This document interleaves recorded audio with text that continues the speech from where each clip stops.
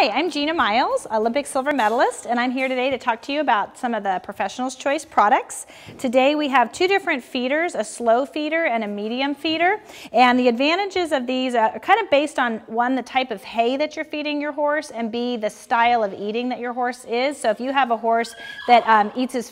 hay really quickly, you want to be going with more of your slow feeder. Notice that the holes in the feeder are smaller. It's going to slow down his feeding um, and um, lengthen the amount of time it takes him to finish a meal, which is beneficial for your horse because it keeps him busy longer and it spreads that meal out into a longer period of time so he's not bolting his food. Um, sometimes though, if you have a horse that maybe is a little bit of a cautious feeder, a little bit anorexic, um, doesn't like to finish up his food, you're going to want to go with more of the medium type feeder that has the larger holes, is going to make it easier for him to get a bite of hay hay and encourage him to keep eating his hay.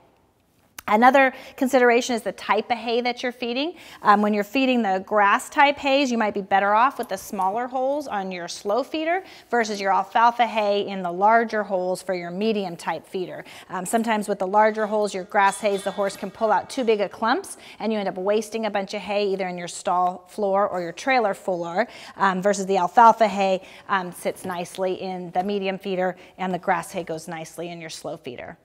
For more information on both of your feeders, check out ridingwarehouse.com.